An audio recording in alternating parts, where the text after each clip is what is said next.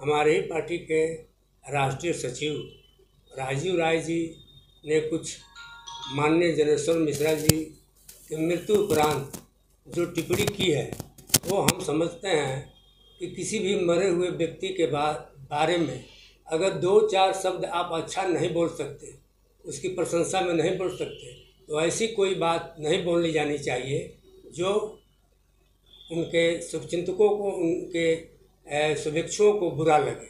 और ये उनकी बातें जो राजीव राय जी ने बोला है, कार्यकर्ता मीटिंग में, मेरी जो ट्रेनिंग हुई है, मेरी जो जानकारी है, वो ये है कि कार्यकर्ता मीटिंग में कार्यकर्ताओं के उत्साहवर्धन के लिए बातें की जाती है, न कि किसी पार्टी के सर्वमान्य नेता को जो अपने पूरा जीवन ईमानदारी से बिता दिया, उसके बारे में मैंने क्या किया, नहीं किया, उनका एक लंबा राजनीतिक जीवन था, एक साधारण परिवार के से उठ के इलाहाबाद जैसे विश्वविद्यालय में गए।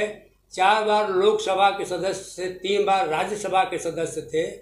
और मैं मानता हूँ कि हो सकता है बहुत सारे लोगों को ज़रूरत पड़ने पर कभी वो सरकार में रहे, कभी वो पैदल रहे तो सहयोग किए होंगे। लेकिन इसका मतलब ये नहीं कि बड़ा पद और बड़ा आदमी होने के नाते ये भूल जाया जाए कि वो आदमी आज दुनिया में नहीं है। तो मेरी बातों का जवाबदेही भी नहीं है। और उसके बारे में इस तरह की उल जलूल बातें किए जाए। ये मैं बोल रहा हूँ। मैं उन्हें उनका शुभचिंतक हूँ, उनका कार्यकर्ता रहा हूँ, वो हम लोगों के गार्जियन रहे हैं।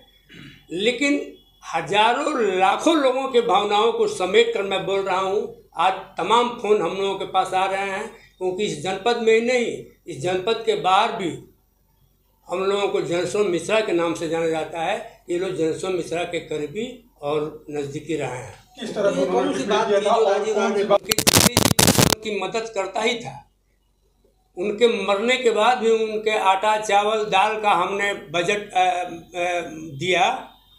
और ये वो भूल रहे हैं कि वो एक राज्यसभा सांसद के हैसियत से उनकी मृत्यु हुई न कि वो उस समय किसी पद के थे।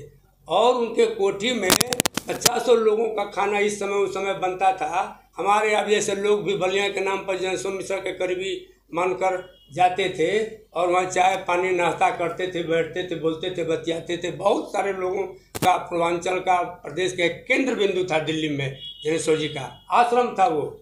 संत थे राजनीति में वो। और उनके बारे में उनके मृत्यु के उपरांत इस तरह की भाषा बोली जाए तो मेरे जैसा आदमी यह मान के चल रहा है कि इससे न राजीव राय जी का कोई भला होने वाला है और न ही समाजवादी पार्टी का कोई भला होने वाला है। बात उनके राजनीतिक उद्देश्य की बात मैं कैसे बताऊँ? मैं सिर्फ़ इतना जानता हूँ कि इन, उनके इस बात का सरेआम मन से कहना, इसकी जितनी निंदा की जाए कम है। अब मैंने पहले भी कहा, फिर मैं रिपीट कर रहा हूँ अपनी बात। कि न इन ऐसे बातों से उनका भला होने वाला है और ना ही मेरी जानकारी में पार्टी का भला होने वाला है। तो पार्टी से क्या मांग जुझारू संघर्षशील आदमी जो जनसोर मिश्रा जी के नाम से जाने जाते हैं अब तक उनका इस पर अपना बयान क्यों नहीं आया? उनका बयान आना चाहिए। जी। अच्छा स्टेज पे बहुत सारे लोग वहाँ मौजूद राम गोविंद चौधरी जी जैसे सर्वमान्य नेता प्रदेश के इतने बड़े नेता थे उनका भी कोई प्रतिक्रिया नहीं आया कि राजीव जी राजीव राय जी अगर इस तरह का बयान दिए हैं तो कितना सच दिए हैं कितना झूठ दिए हैं उनको देना उचित था या नहीं था? तो क्या पार्टी में दिनेश्वर मिश्रा जी के मरने के बाद इलाहाबाद प्रयाग में सबसे पहले पहुँचे। और फिर वहाँ से दिल्ली में जो उनका राशन पताई का बकाया या कर्मचारियों का बताया वेतन का भुगतान का। हमने सब कर दिया था, यहाँ तक उनकी सेवा करते थे।